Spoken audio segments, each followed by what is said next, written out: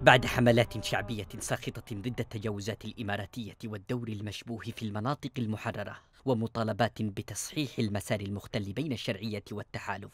مصادر دبلوماسية غربية أكدت لرويترز أن دولة الإمارات العضو الرئيس في التحالف تقلص وجودها العسكري في اليمن.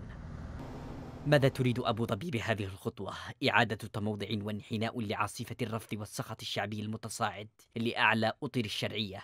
أم أنها ضمنت تحقيق أطماعها عبر أدواتها وتشكيلاتها العسكرية التي أنشأتها وتدعمها في مختلف المناطق المحررة وأطلقتها لالتهام الأرض من تحت الشرعية. آثار الشغب والفوضى التي تقودها أبو ظبي في شبوة وسقطرى لا تزال قائمة وقابلة للتصعيد في أقرب فرصة. ولغة التحرير والتحشيد ضد الشرعية لا تزال هي السائدة لدى وسائل إعلامها.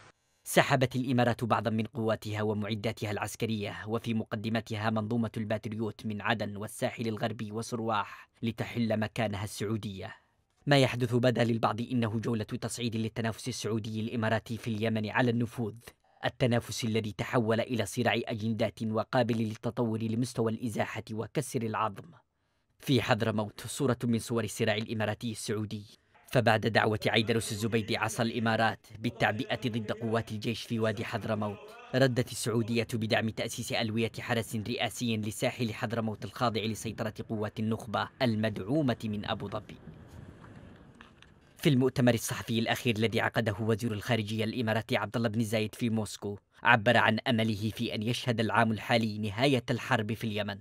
أمل منقوص بنهاية الحرب فالأهداف التي تدخل لأجلها التحالف لا تزال بعيدة التحقق وخارج دائرة اهتمام التحالف في السنتين الأخيرتين.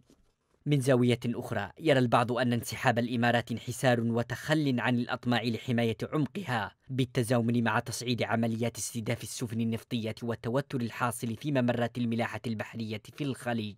تطور ربما يدفع الإمارات إلى التخلي عن أرباحها غير المشروعة في المنطقة ويشغلها بحماية رأس مالها من الحرائق.